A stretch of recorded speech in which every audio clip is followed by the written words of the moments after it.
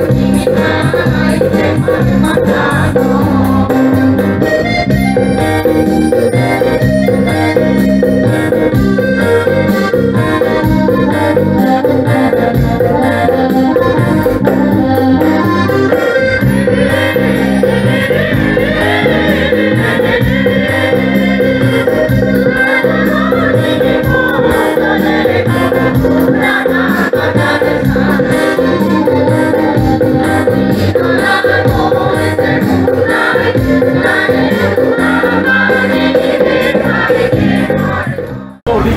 नमस्कार।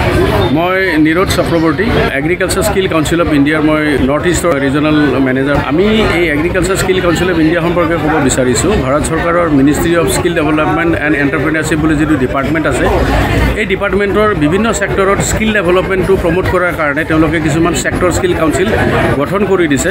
যেনেকৈ ধৰক আপোনাৰ ইলেক্ট্ৰনিক ছেক্টৰ স্কিল কাউন্সিল হওক কনষ্ট্ৰাকশ্যন ছেক্টৰ স্কিল কাউন্সিল হওক টুৰিজিম এণ্ড হস্পিটেলিটি হওক ঠিক তেনেকৈ এগ্ৰিকালচাৰ এণ্ড এলাইড ছেক্টৰৰ এটা ছেক্টৰ স্কিল কাউন্সিল এই কাউন্সিলটোৰ এইকাৰণেই আমাৰ অসমত বা আমাৰ নৰ্থ ইষ্টত এইকাৰণে ইম্পৰ্টেঞ্চ হয় যে কাৰণ আমাৰ মানুহৰ প্ৰধান মানুহখিনি ইয়াত কৃষিজীৱী মানুহ। ইয়াত ধৰক মোৰ দেন ছেভেণ্টি ফাইভ পাৰ্চেণ্ট মানুহ এগ্ৰিকালচাৰ বা এলাইড ছেক্টৰৰ লগত জড়িত হৈ থাকে। মই এলাইড ছেক্টৰ মানে ক'ব বিচাৰিছোঁ যে ধৰক হাঁহ কুকুৰা পালন বা ডেইৰী ফাৰ্মিং বা আপোনাৰ ছাগলী পালন বা আপোনাৰ ধৰক বি কিপিং ইত্যাদি ইত্যাদি যিবিলাক ধৰক মাছৰুম কাল্টিভেশ্যন এই গোটেই প্ৰচেছবিলাক এই গোটেই প্ৰফেশ্যনবিলাক আমাৰ অঞ্চলৰ বিভিন্ন অঞ্চলৰ মানুহে আতি পূৰ্বৰ পৰা খেতি বাতি কৰি আহিছে।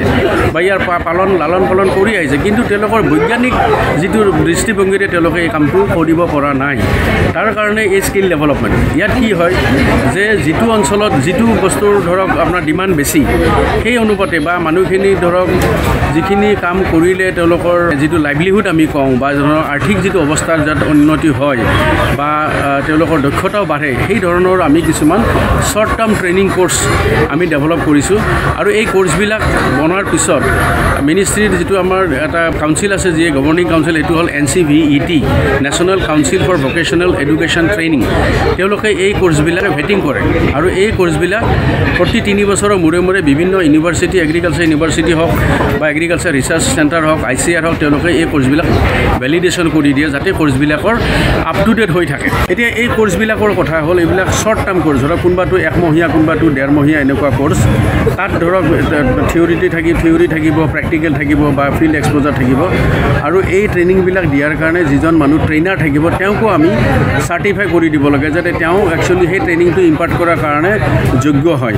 আৰু এই ট্ৰেইনিংটো দিয়াৰ কাৰণে এগ্ৰিকালচাৰ স্কিল কাউন্সিল অফ ইণ্ডিয়াৰ লগত বিভিন্ন ধৰণৰ প্ৰাইভেট আৰু গভমেণ্ট ট্ৰেইনিং ইনষ্টিটিউট জড়িত হৈ আছে।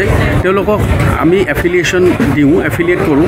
তেওঁলোকৰ তাত আমি ট্ৰেইনিং ইনফ্ৰাষ্ট্ৰাকচাৰ আছেনে নাই চাওঁ ইকুইপমেণ্টছ আছেনে চাওঁ।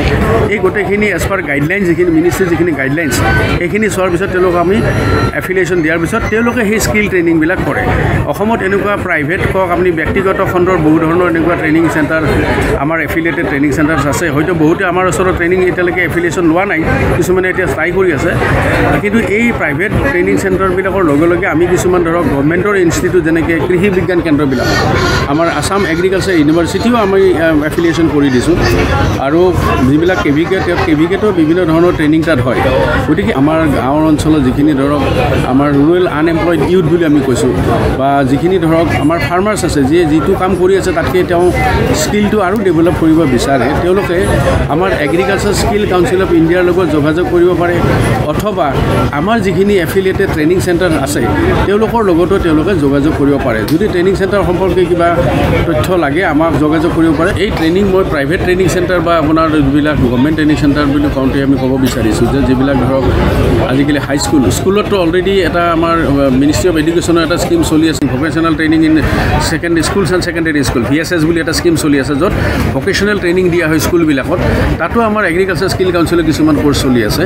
দ্বিতীয় কথা আজি যদি আপোনাৰ ধৰক এখন হাইস্কুল মই গাঁও অঞ্চলৰ হাইস্কুলৰ কথা ক'লোঁ এই হাইস্কুলত যথেষ্ট মাটি থাকে যথেষ্ট ইনফ্ৰাষ্ট্ৰাকচাৰ তেওঁলোকে কৰাৰ কাৰণে তেওঁলোকৰ স্ক'প থাকে। এখন হাইস্কুলে যদি ইচ্ছা কৰে যে আমি আমাৰ যিটো কনভেনশ্যনেল এডুকেশ্যন তাৰ উপৰিও আমি ভকেশ্যনেল ভকেশ্যনেল ট্ৰেইনিং দিম। এতিয়া স্কুলবিলাকত তেওঁলোকে ধৰক ভাৰ্মি কম্প'ষ্ট কাল্টিভেশ্যন বা আপোনাৰ ধৰক মাছৰুম কাল্টিভেশ্যন বা আপোনাৰ ধৰক গাৰ্ডেনিং বা আপোনাৰ লেণ্ডস্কেপিং ইত্যাদি বিভিন্ন ধৰণৰ স্কিল ডেভেলপমেণ্ট ট্ৰেইনিং তেওঁলোকে কৰিব পাৰে। আৰু গভমেণ্ট স্কুল হ'লে এই এফিলিয়েশ্যন লোৱাৰ কাৰণে কোনো ফিজ নাথাকে। কিন্তু প্ৰাইভেট ইনষ্টিটিউট হ'লে এইটো তেওঁলোকে এটা নমিনেল ফিজ থাকে সেই ফিজটো দি পেলাই তেওঁলোকে ল'ব পাৰে।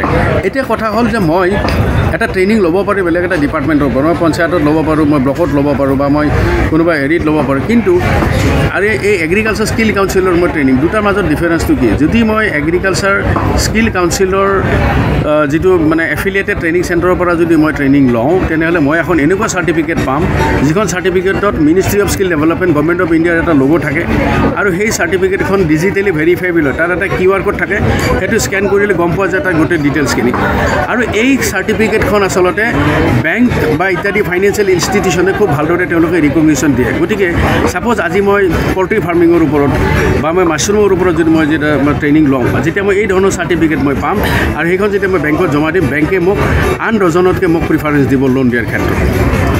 এইটো এটা কথা। দ্বিতীয় কথা মই আকৌ ক'ব বিচাৰিছোঁ যে আজিকালি বিভিন্ন ধৰণৰ কোম্পানী যেনেকৈ আপুনি ধৰক পেষ্টিচাইড কোম্পানী ফাৰ্টিলাইজাৰ কোম্পানী হওক বা আপোনাৰ পল্ট্ৰি ফিড কোম্পানী হওক বা ডেইৰী ফাৰ্ম হওক এইবিলাকতো যথেষ্ট স্কিল মেন পাৱাৰৰ দৰকাৰ। গতিকে এই চাৰ্টিফিকেটটো লোৱাৰ পিছত এই কোম্পানীবিলাকেও এনেকুৱা ধৰণৰ মানুহক এপইণ্টমেণ্ট দিয়াৰ ক্ষেত্ৰত আন ডজনতকৈ বেছিকৈ অগ্ৰাধিকাৰ দিয়ে। গতিকে আমাৰ ইয়াত এগ্ৰিকালচাৰ স্কিল কাউন্সিলৰ ট্ৰেইনিং লোৱাৰ বিনিময়ত দুটা লাভ হয়। এটা হ'ল নিজে এটা চেল্ফ এণ্টাৰপ্ৰিনাৰ্ছ হ'ব পাৰে। দুই নম্বৰ তেওঁলোকে সেই স্কিল চাৰ্টিফিকেট দেখাই প্লেচমেণ্ট পাব পাৰে মানে জব পাব পাৰে। আৰু যথেষ্ট আমাৰ এগ্ৰি এণ্ড এলাইড ছেক্টৰ এতিয়া কোম্পানী আহিছে কাম কৰি আছে। আৰু এই জববিলাকৰ থ্ৰুদি তেওঁলোকে নিজে উপকৃত হ'ব। ধন্যবাদ।